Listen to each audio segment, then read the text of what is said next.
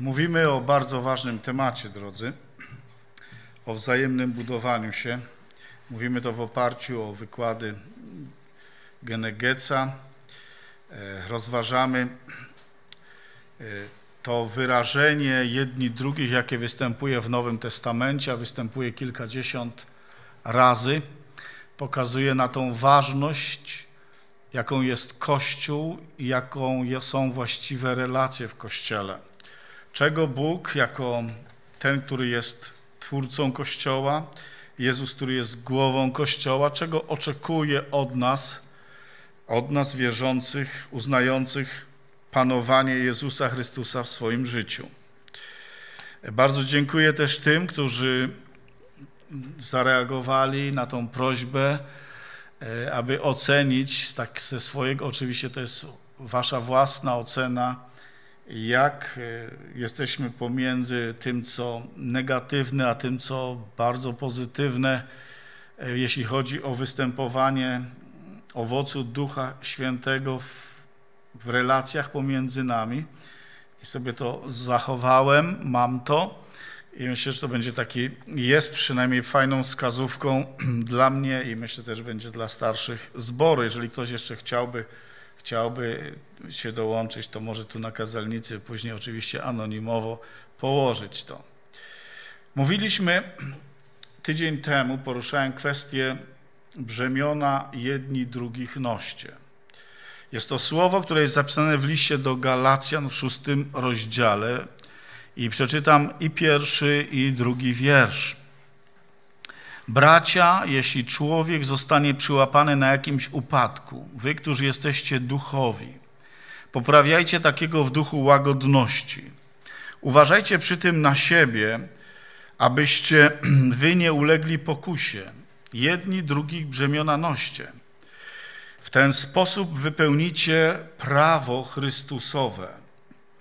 I takie ma się wrażenie, czytając ten tekst, że nosić brzemiona jedni drugich, to jest nosić jakieś trudne sytuacje, e, jakieś niepowodzenia może w pracy i tak dalej.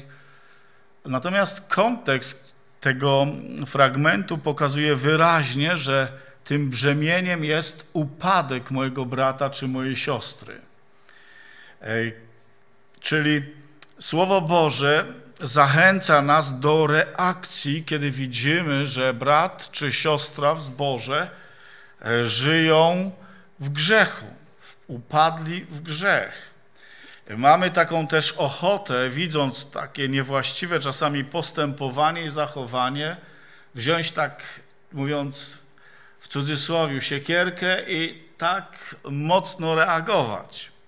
Natomiast jak rozważaliśmy kwestię napominania i teraz rozważamy kwestię brania brzemion jedni drugich, czy też pamiętacie, też mówiliśmy o tym kontekście dawania świadectwa niezbawionym, za każdym razem zwrócona jest nam uwaga, w jaki sposób powinniśmy to czynić. Pamiętacie, jakie główne jest słowo tutaj? W jaki sposób powinniśmy kogoś napominać, e, czy też rozmawiać z tymi, którzy są krnąbrni, nie chcą słuchać Ewangelii. Czy pamiętacie? No, co wam przychodzi do głowy? Miłość, tak, ale ta miłość wyraża się. Tam jest łagodność, tak? Powiedziałeś łagodność też? Okej. Okay. A więc tu, tu, jest dużo mowy o takiej delikatności, łagodności. Nam się wydaje, że powinniśmy bardziej surowo zareagować. A jednak życie pokazuje, że surowa taka reakcja nie przynosi z reguły właściwych, właściwych rezultatów. Wspomniałem też i powiem, że to dla mnie jest troszeczkę odkryciem, czytając to w interlinearnym tekście grecko-polskim, jeśli zgrzeszył twój brat, idź go napomnij. Tam jest to słowo napomnieć nuteteo, czyli powiedz mu tak to, co jest niewłaściwe w jego życiu. Tu nie ma owijania, ale w ten właściwy sposób. Ale tekst grecki i też e, niektóre teksty i I tłumaczenia podają, jeśli by brat twój zgrzeszył przeciwko tobie, coś bardzo osobistego. A więc jeżeli ktoś cię potraktował nie tak, to my mamy taką naturalną reakcję, to jest ta reakcja starego człowieka, naszej cielesności, żeby zaraz szybko poskarżyć się innym i powiedzieć, jaki to on czy ona jest. A jednak tutaj Pan Jezus, mówiąc o napominaniu i o tym, że jeżeli ktoś zrobi coś niewłaściwego wobec nas, idź i powiedz mu o tym. Powiedz, jak się czujesz.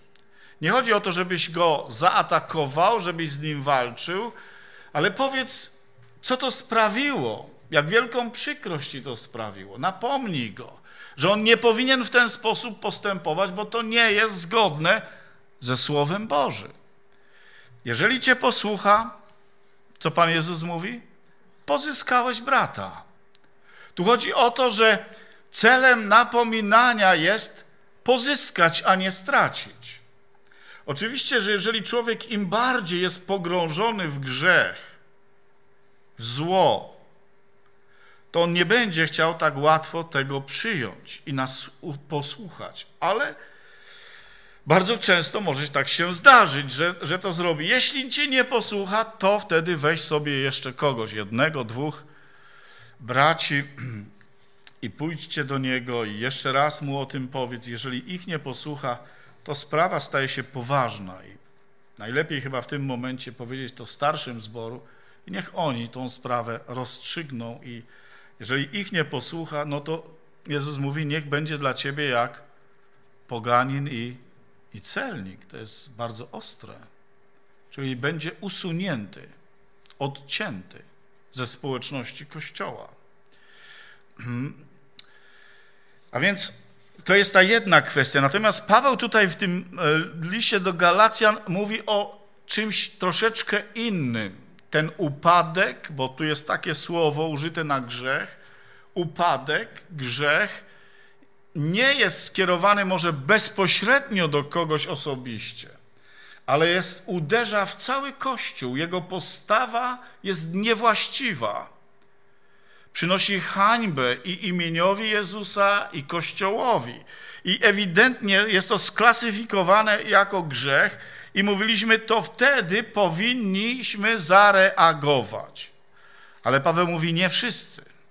Nie wszyscy. Choć chciałby, żeby wszyscy byli do tego zdolni, gotowi, ale mówi tak, wy, którzy macie ducha, a więc duchowi chrześcijanie, którzy postępują według ducha świętego. Wy, którzy macie ducha. Tak jak mówi list do Koryntian, e, też o cielesnych i duchowych, mówi, wy, którzy jesteście duchowi, poprawiajcie takiego, w duchu łagodności, delikatności. Tak więc ważną rzeczą jest, abym się upewnił, czy jestem człowiekiem chodzącym według ducha. Ktoś tak bardzo ładnie określił list do Galacjan, że to jest tak zwana magna karta, wielka karta. Wielka karta wolności. I chrześcijanin jest jakby gdzieś tam pomiędzy dwoma przepaściami idzie na grani. Jak się wychodzi na rysy, to musisz w pewnym momencie przejść przez takie od naszej strony taką wąską grań i z jednej i z drugiej strony jest przepaść i dopiero dochodzisz do szczytu. I chrześcijanin idzie po takiej grani. Na, tam na górze jest wolność, którą ma z łaski Bożej w Chrystusie Jezusie, ale z prawej i z lewej jest przepaść. Z jednej strony ta przepaść nazywa się legalizm, gdzie chrześcijanie próbują wracać i szukać usprawiedliwienia w swoich uczynkach, czy też może mają całą listę rzeczy, które uważają, które chrześcijanin powinien wypełniać, a które nie powinien wypełniać. Odwracają wzrok od krzyża, od ofiary Chrystusa i zwracają uwagę na rzeczy, które oni w swojej cielesności są w stanie zrobić, i wpadają w problemy. Nad tym jest gniew Boży, bo nikt nie może zostać usprawiedliwiony przez własne uczynki. One są ważne, ale nie przez nie człowiek jest usprawiedliwiony przed Bogiem. To jest pycha człowieka, w ten sposób się wyraża. A z drugiej strony jest samowola. Albo złe zrozumienie wolności. Robię, co mi się żywnie podoba, bo jestem wolny w Chrystusie, no to, a myśmy mówili, że i apostoł Paweł o tym pisze w liście do Galacjan, że wolność nie oznacza wolności do grzechu, do nieprawości. Ale jesteśmy, właśnie ta wolność polega na tym, że ty i ja zostaliśmy uwolnieni z łaski przez moc Chrystusa Jezusa od mocy grzechu, od diabła. Już nie muszę grzeszyć, nie muszę żyć po swojemu. Oto Jezus mieszka we mnie, Duch Święty mieszka we mnie i mogę postępować i żyć według ducha, a nie według ciała, starej natury. I powiem wam, że ta granica, czy ta grań, po której idziemy, jest bardzo wąska. Mamy taką naturalną tendencję popadania w jedno lub drugie. Najczęściej chrześcijanie próbują schodzić z tej drogi w tą stronę legalizmu. Jeśli zrobię to, więcej się będę modlił, pościł, to będę bardziej umiłowany przez Boga. I chociaż post i modlitwa jest bardzo dobra, to jednak muszę wiedzieć, że zbawiony jestem z łaski przez dzieło Jezusa Chrystusa na krzyżu. Amen. Właśnie w ten sposób. I to mi pozwala, że ja z radością jestem gotów służyć i czynić dobrze ze względu na miłość, której doświadczam ze strony Chrystusa. Nie postępuję już w ciele, w swojej własnej cielesności i sile, ale proszę i modlę się i ufam, że tak jak zbawiony zostałem z łaski, gdzie nic nie mogłem poprawić, mogłem tylko przyjść i powiedzieć: Panie, jestem brudny, grzeszny, zasługuję na śmierć. To wszystko. Ale on ogłosił łaskę ze względu na krew baranka, na krzyż. Ułaskawił mnie, usprawiedliwił mnie, uświęcił mnie. To jest coś niesamowitego.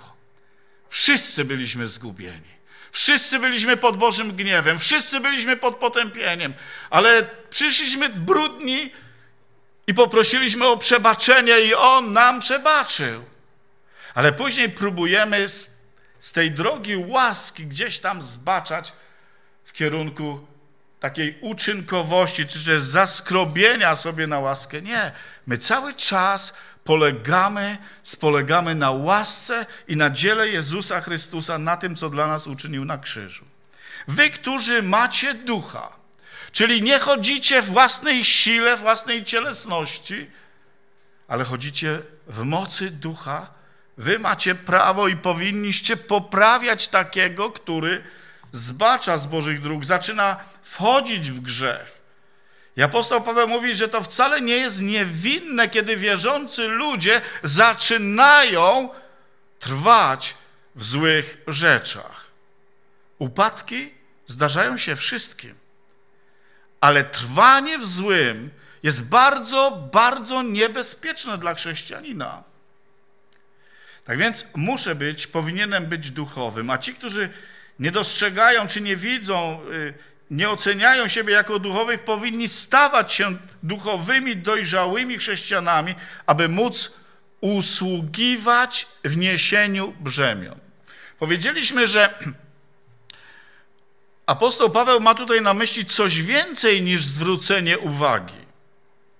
Tu jest napisane słowo poprawiać, to greckie katartizo oznacza przy, przyprowadzać go z powrotem do dobrego stanu, w którym był. Tak jak mówiono o złamanej kości, trzeba ją złożyć tak, aby ręka czy noga mogły na nowo właściwie funkcjonować.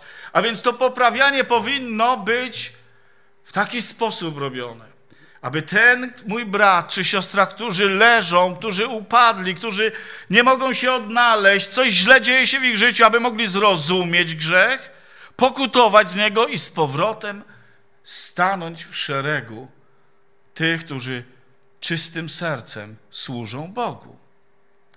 A więc wy, którzy macie ducha, poprawiajcie tych, którzy mają brzemiona grzechu w swoim życiu i nie potrafią się z tego wydostać. Po drugie, powiedzieliśmy, że to poprawianie zgodnie z tym tekstem nie jest zadaniem tylko jednej osoby, gdyż Paweł pisze w liczbie mnogiej. Nie pisze do jednego, ale mówi do wy.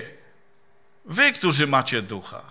A więc w to powinno być zaangażowane grono duchowych chrześcijan, aby pomóc temu, który upadł, aby pomóc mu się podnieść i dalej żyć w społeczności z Panem.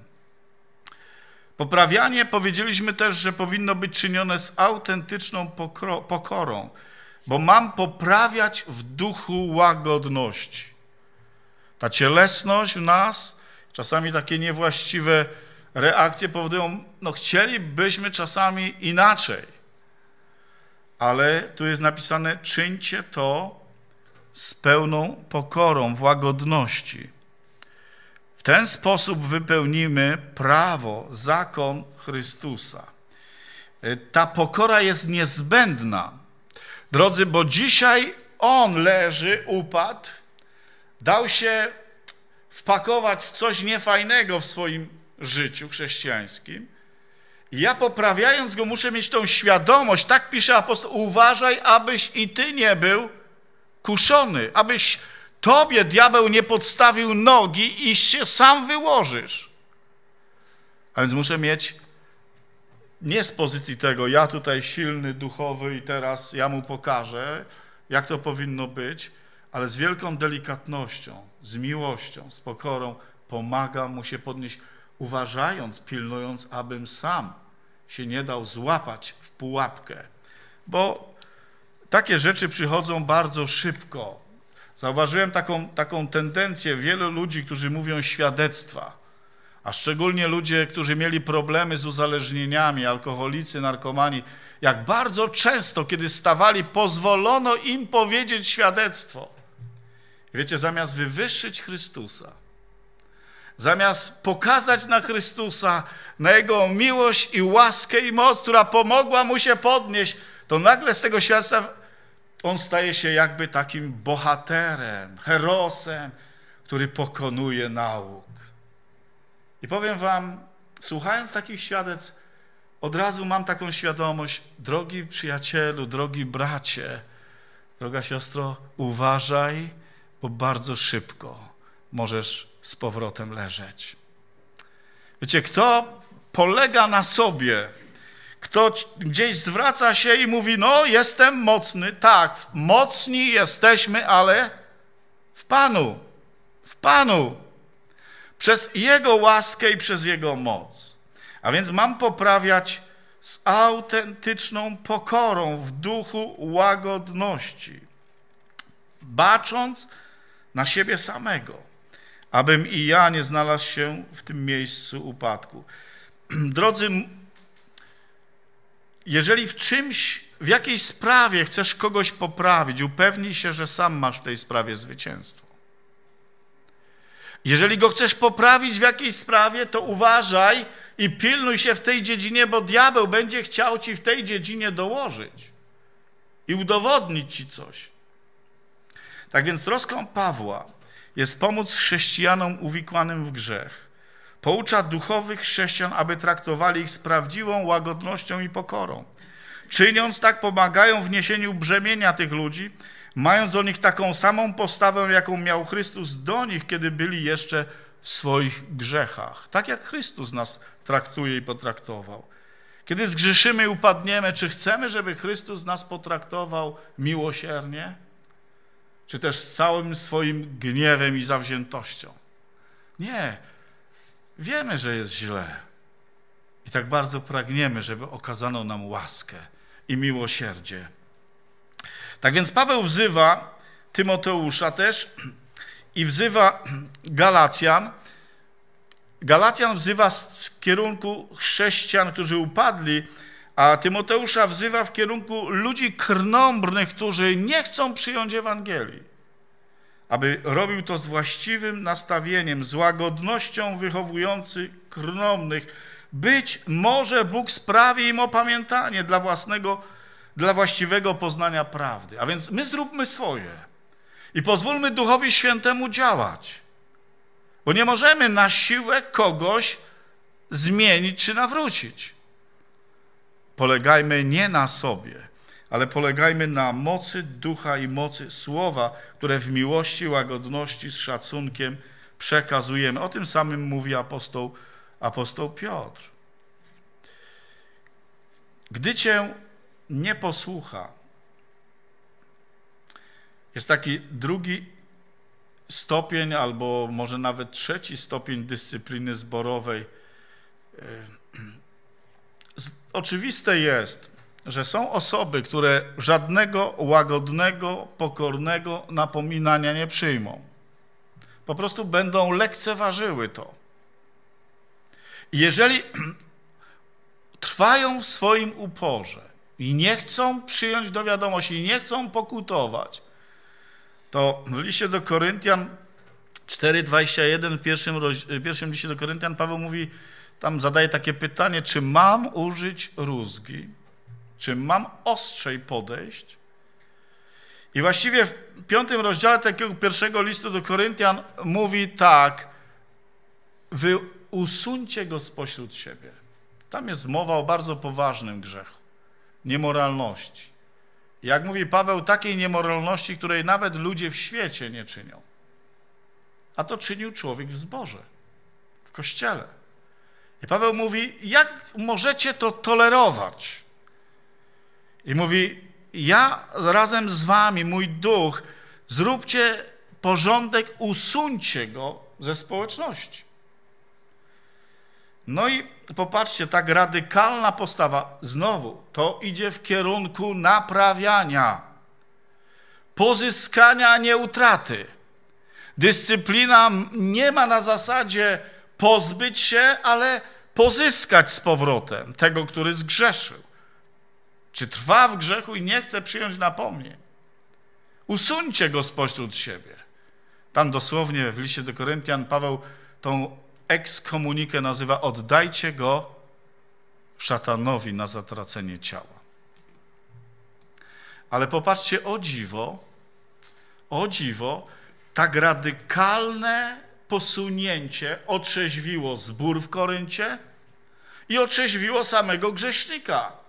Dlatego, że apostoł Paweł w drugim liście do Koryntian mówi, że to, co zrobiliście razem z, ze mną, chociaż nie byłem wśród was, to spowodowało w was samych przemianę, opamiętanie, skruchę, smutek i nagle zaczęliście widzieć wiele niewłaściwych rzeczy, które się działy w waszym osobistym życiu, nie tylko w życiu tego człowieka, ale po jakimś czasie i ten człowiek zaczął pokutować.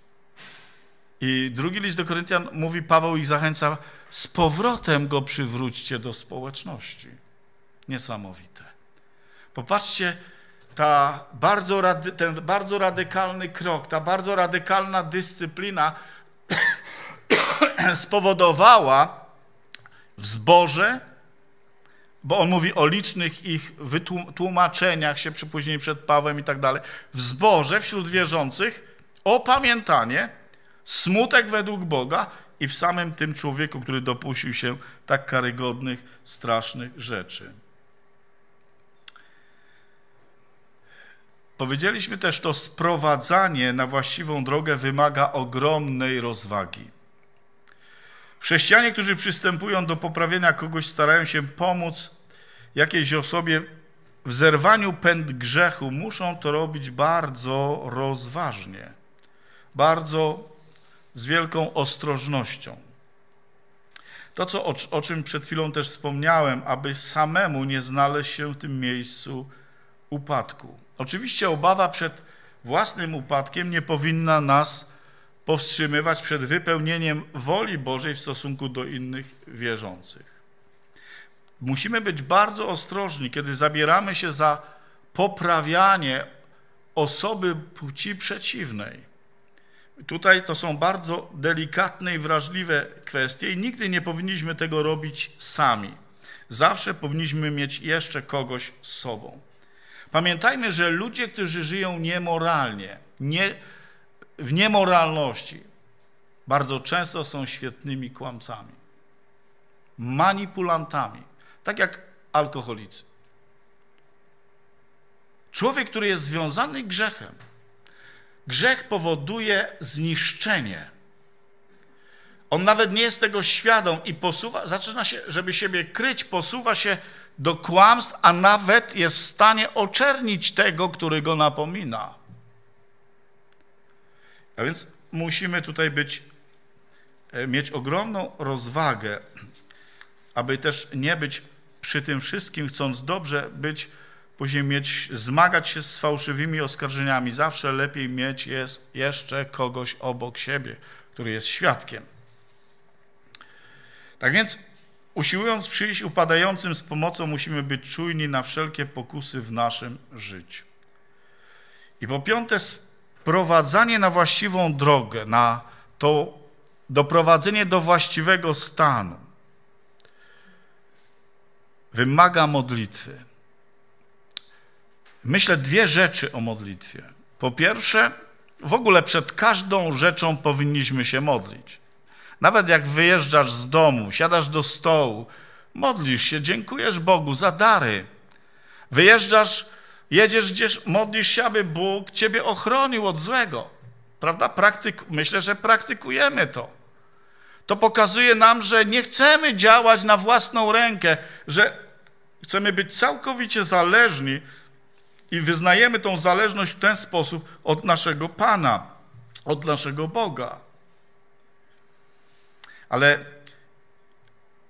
ta modlitwa, o której chcę wspomnieć jeszcze, ma ten inny wymiar.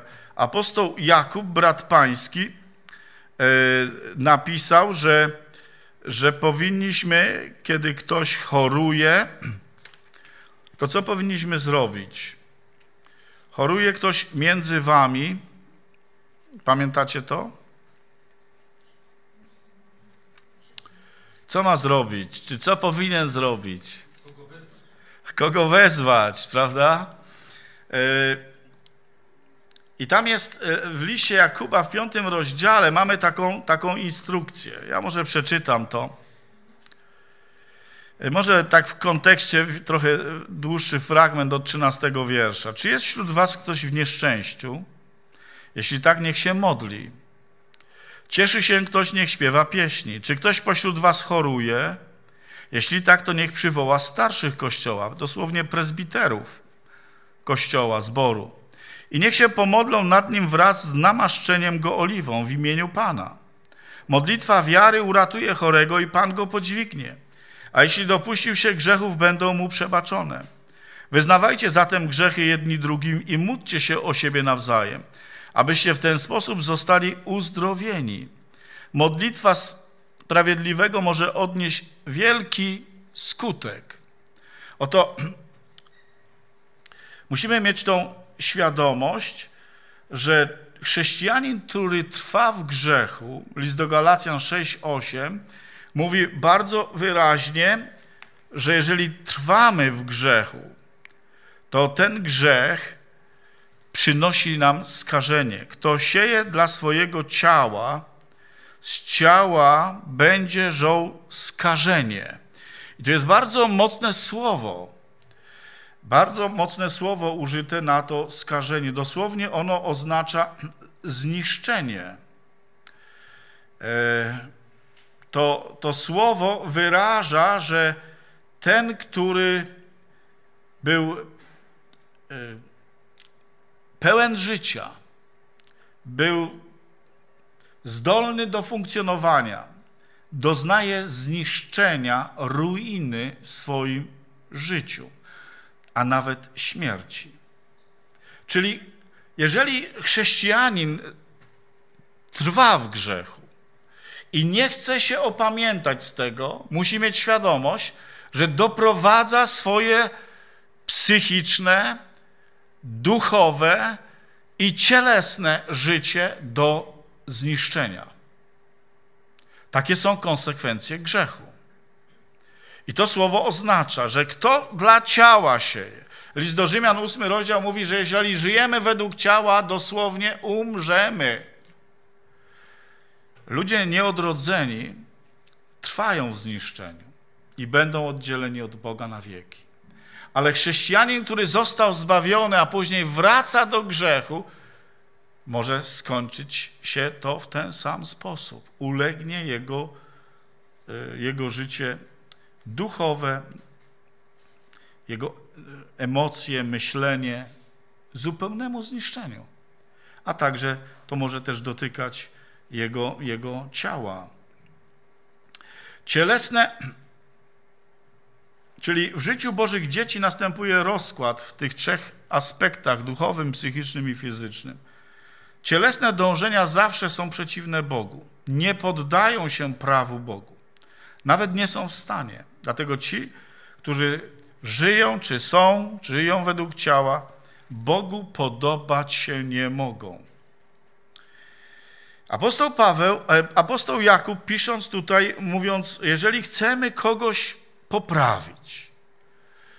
I tutaj w tym kontekście mówi o cierpieniu, które wywołuje choroba. Choruje ktoś między wami. To jest ciekawą rzeczą, bo w tym krótkim fragmencie listu Jakuba e, autor podaje jakby takie dwa znaczenia choroby. Choroba fizyczno-organiczna, choruje ktoś między wami, jest wątły, słaby, jego, jego ciało słabnie. To jest to fizyczno-organiczne, ale też później, kiedy mowa jest o wyznawaniu grzechu, mówi o chorobach duszy, psychiki, stanach depresji, załamania, utraty chęci życia. Ale kiedy ten chory wezwie, przywoła starszych zboru. Zwróćcie uwagę, że w ogóle chyba w zborach bardzo rzadko zdarza się, żeby ludzie, którzy chorują w zborach, przywołali starszych z prośbą, aby zostali namaszczeni olejem. Powiem tak, najczęściej pastor wychodzi z inicjatywą, ale Słowo Boże tak nie mówi. Ja wiem, Ewangelie nam mówią, o namaszczaniu olejem w takiej normalnej modlitwie o chorych. I to jest właściwe. Ale tutaj chodzi o kogoś, kto jest złożony chorobą w domu, brat, siostra. Stan jest zły, jest zachęcony przez Słowo Boże. Jeśli kto choruje, niech przywoła prezbiterów zboru. I niech oni się wtedy, niech go namaszczą oliwą w imieniu Pana i niech się modlą z wiarą. I jeśli dopuścił się grzechów, będą mu przebaczone. I tutaj na tym etapie nie ma jeszcze mowy o wyznawaniu grzechów. Tutaj użyte jest takie słowo, jeśli dopuścił się grzechów. Greckie hamartia oznacza grzech taki przeciwko Bogu. Zbaczam z Bożej drogi. Coś jest nie tak mojej relacji z Bogiem. I nawet kiedy On wzywa starszych i oni przychodzą i namaszczają go olejem i to namaszczenie to nie jest namaszczeniem pomazańca pańskiego. Tak jak Dawid został namaszczony na króla. Nie. To namaszczenie nie jest wylaniem nawet oleju na jego głowę. To namaszczenie, tam słowo greckie używa, jest jak wcieranie oleju w jego ciało ku uzdrowieniu. A więc starsi powinni przyjść, dlatego że on ich wezwał. To znaczy, że w jego sercu jest wiara, jest modlitwa, jest oczekiwanie na Boże uzdrowienie, bo przecież inaczej by starszych nie wzywał. On jest zachęcony przez słowo i robi to. A więc starsi powinni przyjść i powinni go namaścić i modlić się sami też pełni wiary i oczekiwania. Zwróćcie uwagę, tutaj jest napisane wiele może usilna modlitwa, ale nie wszystko. Tak? Czasami jest tak, że modlimy się, czy nie, czy, nie tylko kiedy nas wzywa, e, e, e, chorzy wzywają starszych, ale czy w ogóle, ale nawet, nawet jedna siostra kiedyś zapytała mnie z naszego zboru, no dobrze pastorze, no, no ale czy ktoś został uzdrowiony, jak go namaszczałeś olejem? Bo ja ją próbowałem zachęcić do tego, ale ona nie kwapiła się do tego. Ale tu jest napisane wiele może. nie wszystko może. Wszystko to Pan Bóg może, ale nie modlitwa nasza. Tak? Ale wiele może. Kiedy Kościół, kiedy zaczynamy się modlić,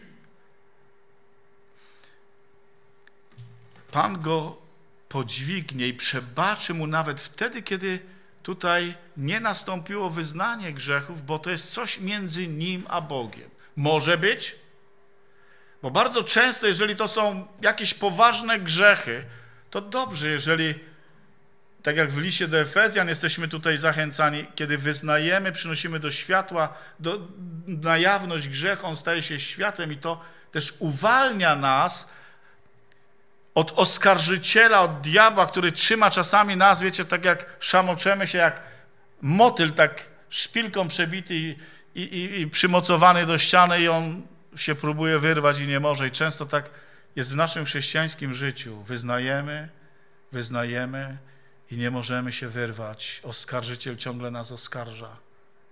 Ale kiedy wyznam grzech, kiedy wyjawię go na światło, i wtedy oni będą się modlić, a Bóg przebaczy. To Bóg przebacza, nie człowiek. Bóg. My potrzebujemy od Boga przebaczenia. Nie od człowieka w tym momencie. Od człowieka potrzebujemy przebaczenie wtedy, kiedy narobiliśmy głupot w stosunku do kogoś i mamy tą potrzebę, aby ktoś nam przebaczył. I to jest właściwe. Ale też On może nam przebaczyć, ale musimy szukać przebaczenia u Boga. Także w tym względzie. A później jest napisane, jeśli wyznajemy, i tam jest jakby to drugie słowo grzechu oznacza ten grzech bardziej skierowany do kogoś osobiście, to niech ci, którzy się będą modlić i niech on po prostu przeprosi konkretną osobę. I wtedy Bóg przebaczy i on będzie wolny i będzie uzdrowiony. A więc nie każda choroba, o jakiej pisze Jakub, powoduje chorobę. Co ja mówię, dobrze mówię? Nie każda choroba jest wynikiem grzechu. Prawda? Bo tak jest, jeśli by zgrzeszył. Więc nie każda choroba. I tutaj musimy być ostrożni, żeby od razu nie osądzać tego, który jest chory, o, bo Pan Bóg go widocznie pokarał za coś. Bądźmy tutaj w tym względzie też bardzo, bardzo ostrożni. Ale grzech może spowodować chorobę. W liście do Koryntian w 11 rozdziale 30 wierszu jest wyraźnie o tym mowa. Jest wielu chorych i słabych i niemało zasnęło, czyli umarło. Dlatego, że niegodnie spożywali wieczerzę pańską w niewłaściwy sposób. Nawet co do formy, nie tylko koniecznie, jeżeli żyli w jakimś grzechu, ale co do formy przynosiło to ujmę Kościołowi i Panu. Może e, grzech spowodować chorobę, ale jeżeli nawet, to Bóg jest gotów, gotów e, przebaczyć. Tak więc, jeżeli zabieram się do poprawiania, muszę się upewnić, że chodzę w duchu. Jak mogę to sprawdzić? A więc zadaj sobie pytanie, czy dostrzegasz w swoim życiu chrześcijańskim miłość, radość, pokój, cierpliwość, uprzejmość, dobroć, wierność, łagodność, opanowanie. Dosłownie owoc ducha. Czy to jest? Po drugie, powinniśmy się upewnić, że nasza ocena życia brata czy siostry jest właściwa, biblijna a nie wynika z moich własnych zapatrywań, co ja uważam za grzech. Czy Biblia uważa to za grzech? Wtedy dopiero mogę się podjąć w autorytecie e, Bożego Słowa napominania. A więc muszę sprawdzić kryterium tego, co podoba się Bogu, a co nie. List do Galacjan 5, 19, 21 mówi o takim kryterium, co Bogu się podoba, a co nie. Posłuchajcie. Uczynki ciała są jawne. To jest nierząd. Tu jest użyte greckie słowo porneia, czyli cała pornografia, cała nieczystość z tym związana. Do, y, tu jest też, możemy określić tu słowem wszeteczeństwo, czyli wszelkie relacje seksualne pozamałżeńskie. A więc to są uczynki, które Bogu się nie podobają, należą do ciała, z których człowiek powinien pokutować. Jeśli w nich będzie trwał, nie odziedziczy Bożego Królestwa. Nieczystość, rozpusta, oddawanie czci bożyszczom, wróżbiarstwo, wrogość, wrogość. Powinniśmy pilnować swoich serc, czy nie ma gdzieś w moim sercu wrogości do kogoś. Bo to jest na tym samym poziomie jak nierząd, jak bałwochwalstwo i inne rzeczy. Jawne są uczynki ciała. Kłótliwość. Wiecie, są ludzie, którzy gdzie się pojawią, wszczynają spory. Zazdrość, porywczość, zaczepność, krnąbrność. Wiecie, że krnąbrność przyrównana jest u jednego w księdze prorockiej, ale nie typowej prorockiej, Samuel tak mówi, że krnąbrność jest jak kult, cześć dla obrazów. Czyli krnąbrność, brak troski o jedność, zawiść, chęć mordu, pijaństwo, rozpasanie i tym podobne. Ci, którzy tych rzeczy się dopuszczają, nie odziedziczą Bożego Królestwa. A więc powinienem sprawdzić jakby, czy w tych kategoriach rozpatruję grzech, czy to jest grzechem według Bożego Słowa. I oto mamy całą listę. Albo posłuchajcie Koryntian 6, 9 do 11. Albo czy nie wiecie, że niesprawiedliwi Królestwa Bożego nie odziedziczą. Paweł pisze to do Kościoła. Nie łudźcie się. Ludzie dopuszczający się nierządu, to samo słowo porneia, które też tłumaczone jest czasami jako wszeteczeństwo. Bałwochwalcy, cudzołożnicy, mę, mężczyźni współżyjący między sobą. Tak samo dotyczy to kobiet. I ci, którzy im się oddają. Złodzieje, chciwcy, pijacy, oszczercy, zdziercy nie odziedziczą Królestwa Bożego. Ale ta końcówka jest niesamowita. A takimi niektórzy z was byli. Tak Paweł pisze do Korynczyków. Obmyliście, albo y, Biblia Warszawska mówi, ale zostaliście obmyci, uświęceni i usprawiedliwieni. W imieniu Jezusa Chrystusa i w Duchu Świętym. Takimi byliśmy, grzeszni, brudni, ale Bóg w Chrystusie i przez Chrystusa obmył mnie, uświęcił mnie, czyli oddzielił mnie od tego, co jest brudne i grzeszne dla siebie, do społeczności z sobą i usprawiedliwił mnie. Każde Boże dziecko. Czyli uznał nas przez ofiarę Chrystusa za tych, którzy w Jego oczach są sprawiedliwymi, tak jakbyśmy nie popełnili żadnego grzechu przed Bogiem. A więc dostąpiliśmy tego w imieniu Pana Jezusa Chrystusa i w duchu Boga naszego. W żaden inny sposób to się nie dokonuje. Jest to w Chrystusie i w Duchu Świętym. W żadnej mocy człowieka. I tak można byłoby jeszcze powołać się na listę z drugiego Tymoteusza 3:2-5, gdzie tam także jest mowa o, o niektóre rzeczy się powtarzają. W każdym razie muszę się upewnić, że moje napominanie ma ten wymiar, e, jest właściwy. A kiedy już jestem pewny, mogę pomóc nieść brzemię drugiej osoby. A więc po pierwsze wskazać jej na grzech, z którego powinna się wyzwolić i porzucić. Jeśli nie reaguje, czasami Paweł radzi, na przykład do Tesaloniczan, trzeci rozdział, wiersz 14 i 15, drugi Tesaloniczan, jeżeli ktoś żyje nieporządnie. Pamiętacie, jakie to było nieporządne życie, które tam Paweł piętnował? Kto nie pracuje, który próbuje żyć na koszt innych, kto nie pracuje, niech nie je i żyje według Pawła nieporządnie i mówi tak, jeżeli was nie chce słuchać, to odsuńcie go, ale nie traktujcie go jak wroga. Niech się zawstydzi, tak z dystansem. I to ma przynieść takie opamiętanie. Ale trzecim krokiem jest usunąć kogoś, kto nie chce przyjąć napomnień, nie chce się zmienić, nie chce, e, nie chce uznać swojego grzechu i od niego się odwrócić. Jeśli czynimy to z miłością, w sposób właściwy, to z reguły wszystko kończy się na tym pierwszym etapie. Jeżeli jest tam w człowieku ciągle taka, taki respekt, bojaźń przed Bogiem i taka świadomość, że mogę stracić społeczność z Kościołem. Wiem, że jesteście bardzo zmęczeni już. Jeszcze może taką jedną ciekawą rzecz odnośnie owocu ducha. Podobno w rejonie Morza e, Śródziemnego jest taki owoc, który ma wiele smaków. Ten owoc ma taką fajną nazwę Misterio Delicious. Jeżeli go ugryziesz, ma smak pomarańczy.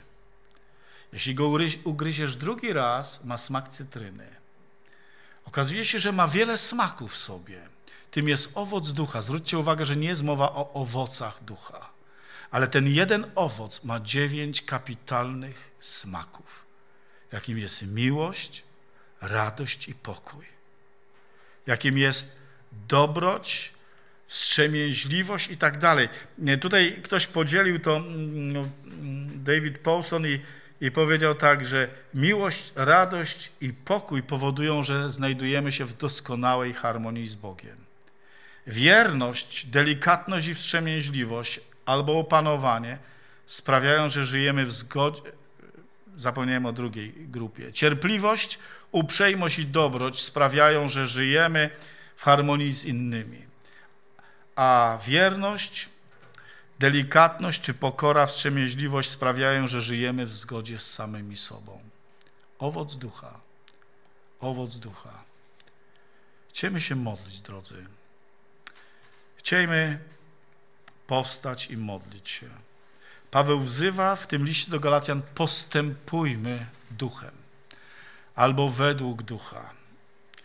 I używa tutaj dwóch ciekawych określeń. Pierwsze, postępuj spacerując sam ze sobą, abym powiedział tak, spacerując sam z Duchem Świętym. Rozkoszuj się Bożą obecnością, aby żyć według ducha, nie ciała. Ale też w, w szóstym rozdziale i, i pod koniec piątego używa innego słowa do chodzenia, które oznacza posuwać się w szeregu, w rzędzie. Potrzebujemy obu rzeczy. Chodzić sami w obecności Ducha i z Duchem Świętym.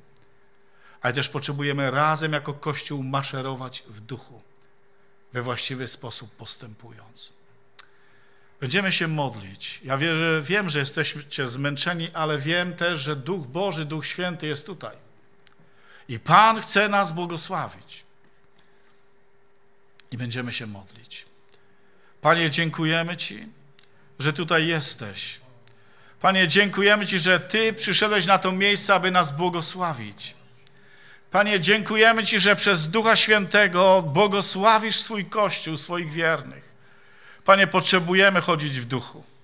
Potrzebujemy chodzić z Tobą, Duchu Święty, w bliskiej relacji i społeczności z Tobą, aby być pełnymi Twego owocu, Duchu Święty. Dopomóż nam w tym względzie wzrastać, Panie. Aby każdy aspekt owocu Twego, owocu Ducha Świętego był coraz bardziej widoczny w każdym z nas. Abyśmy się stawali duchowymi, dojrzałymi, Panie. Prosimy Ciebie, Duchu Święty, rozlewaj swój owoc swoją obecnością w życiu każdego z nas.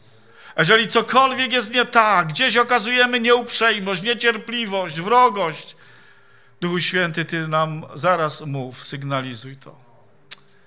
Panie, dziękuję Ci za Twoje słowo. Dziękuję Ci za Kościół. Dziękuję Ci, Panie, że możemy Ci służyć. Tak wywyższamy Twoje imię, Panie. Wywyższamy Cię, Jezus. O, halleluja, Panie. Dotykaj każdego z nas. Błogosław każdego z nas. Duchu Święty, wioń teraz nad nasze serca. Duchu Święty, wywyższaj Jezusa Chrystusa. Prosimy Ciebie o to. Boże nasz i Królu nasz, aby ubywało nas, ale aby Chrystus był coraz bardziej widoczny w każdym z nas. Chwała niech będzie Tobie, Panie. Chwała niech będzie Tobie, Jezus.